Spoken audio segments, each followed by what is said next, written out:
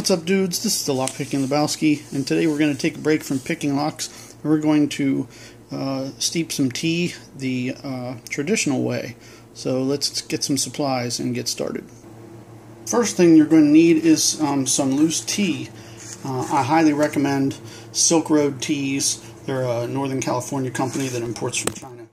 Um, I use a dish to heat my water in and a tumbler to transfer it. You're going to need a teapot. This one actually has a strainer at the front before it comes out. And uh, teacups. And also your traditional gaiwan. You're going to need digital scale and a small container. First step is I'm going to take and put uh, three and a half grams of loose tea leaves in this container. So uh, I'm going to turn on our scale. You want to put your scale on a hard surface. You don't want to put it on a soft towel or anything like that. So we're going to put our container on top and then we're going to hit the tare button to zero it out and then we're going to add three and a half grams of loose tea. Okay, there's our three and a half grams of loose tea and we're going to go ahead and put that into our gaiwan and it will be nice and happy and awaiting hot water. put the lid back on there for now.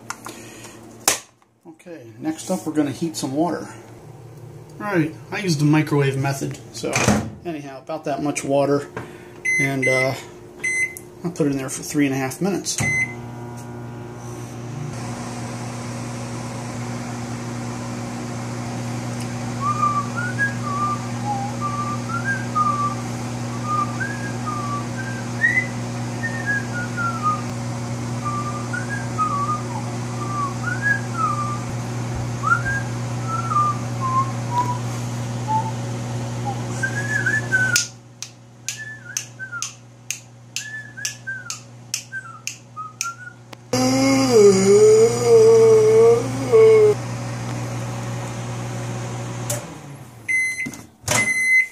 Alright, that just about does it. Next we're going to transfer it to the tumbler without burning ourselves.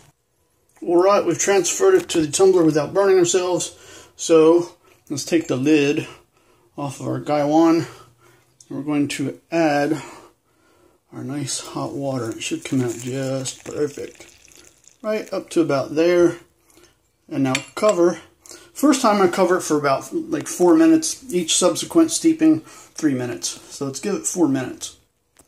All right, it's been about four minutes, and that should be enough for the first time. So you want to take the lid off of your teapot, and you want to just open up just a little side on the left-hand side here of your gaiwan for that uh, tea to come through. You're going to place your fingers, two fingers on it like this, and your thumb and your pinky on the outside. So you're going to hold that lid in place. Then hold well above your gaiwan there, and you're just going to pour like so.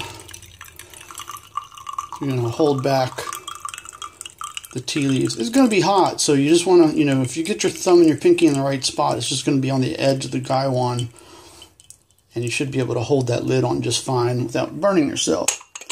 And we're going to replace our lid on our teapot, and it should just look sort of like just tinted urine. It shouldn't be like dark, like you've got an endocrine system problem.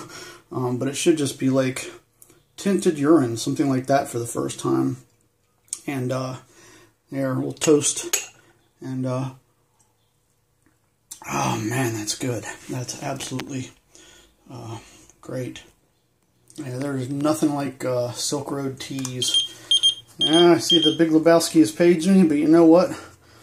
We're going to turn off the pager, and uh, we'll just have to see him next time. Dude out.